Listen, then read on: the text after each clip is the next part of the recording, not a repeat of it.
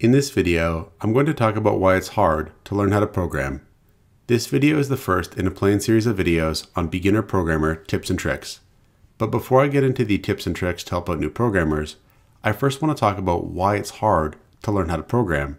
Because if we understand the problem and the challenge facing us better, we'll be better able to deal with it. And wherever possible in this video and in this video series, I'll be backing up the points I'm making with evidence published in scientific journals.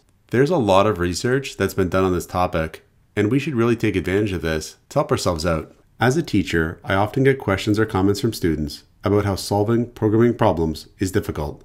So the students can understand core concepts like variables and loops, but they'll find it very hard to solve new problems using these concepts.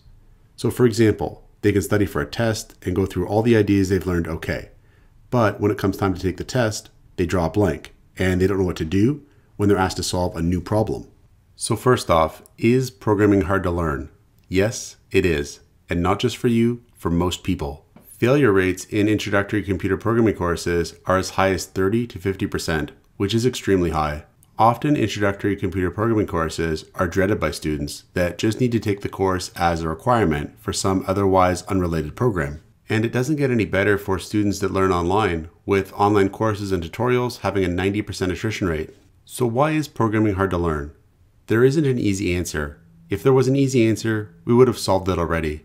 There's actually a lot of reasons why learning to program is hard, and so we'll focus on some of the bigger reasons. First off, unlike math, sciences, and languages, coding generally isn't taught to students when they're children and as they grow up.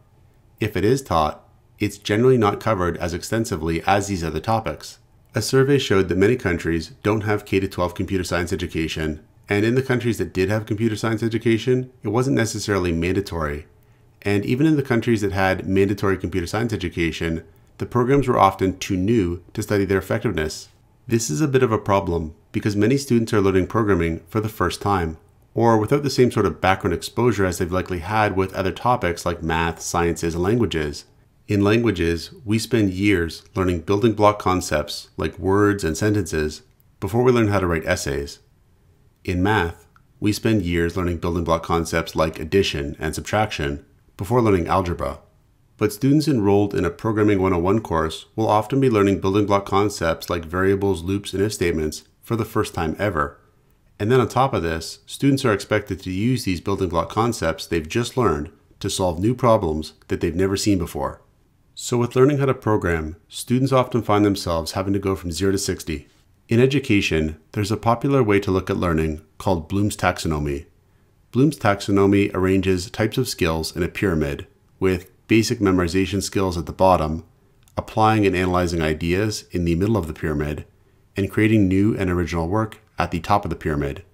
And generally speaking, the skills at the top of the pyramid are more difficult than those at the bottom. Writing computer programs that solve new problems involves skills at the very top of Bloom's taxonomy we can't memorize facts or learn how to plug numbers into an equation to solve new programming problems. We need to create something new based on what we understand. And this is just a fundamentally more difficult thing to do. But that's not where the difficulty ends. Figuring out how to solve a problem conceptually is fundamentally hard, but expressing and describing that solution with code is also going to be hard. So let's say we have a list and we want to find the largest value in the list we first need to figure out a solution to the problem, and we might come up with an algorithm like this. In step 1, we assume that the first value in the list is the largest value.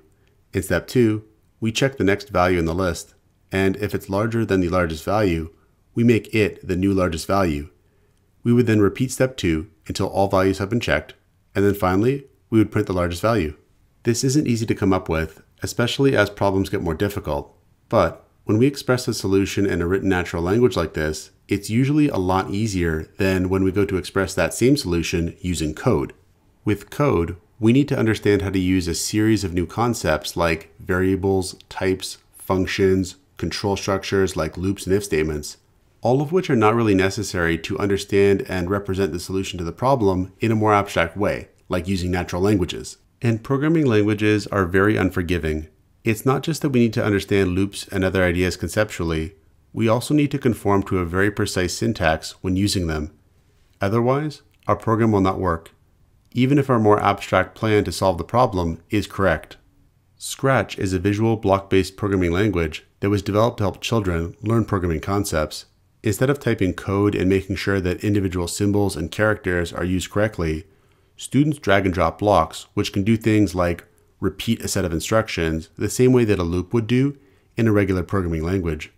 A big part of why Scratch works so well as a learning tool is that it effectively eliminates syntax errors by using blocks instead of text based code. The expression of solutions to problems has been made easier for students. Some colleges and universities even teach Scratch in their Programming 101 courses because of this. So it's very easy to make mistakes when programming, but on top of this, when we do make a mistake, the feedback we get is often very difficult to understand. The compiler for most languages will provide very technically accurate error messages when we make mistakes, but the messages themselves are not intended to help beginners. So we'll get things like this segmentation fault core dumped, or L value required as left operand of assignment, along with some numbers and maybe an error code. These errors can be difficult for experienced programmers to understand, so for new programmers, the feedback is much less helpful. And yet, there's a lot of evidence that tells us that feedback is absolutely critical for learning. Imagine trying to learn algebra or how to write essays without getting any helpful feedback to correct you when you make a mistake. So altogether, we have a situation where we're coming in with background knowledge that's relatively poorer than other subjects, we're solving new and difficult problems, and we're expressing those solutions with very unforgiving tools that give us poor feedback when we do make a mistake. This is brutal. Imagine trying to bake cookies for the first time if you've never baked before or seen anyone else bake before, and you have no recipe for cookies, and the oven instructions are in a language you don't understand. And when you make a mistake, the person that tells you what you did wrong speaks a language you also don't understand. You would feel lost, and it wouldn't be your fault.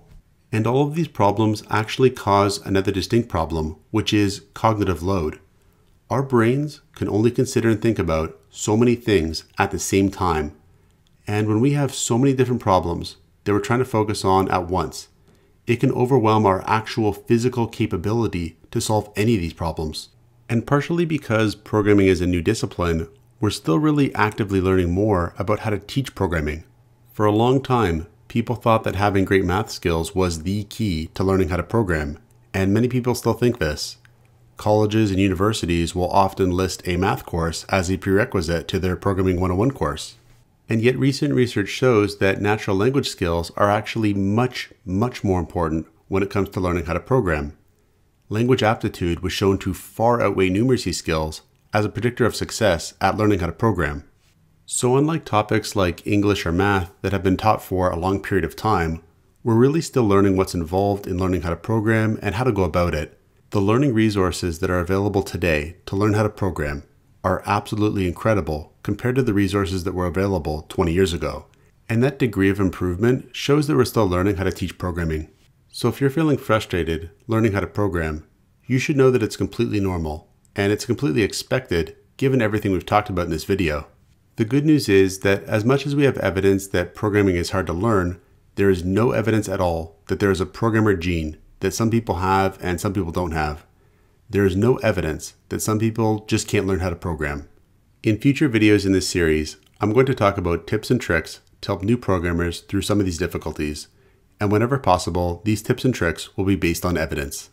Check out portfoliocourses.com, where we'll help you build a portfolio that will impress employers.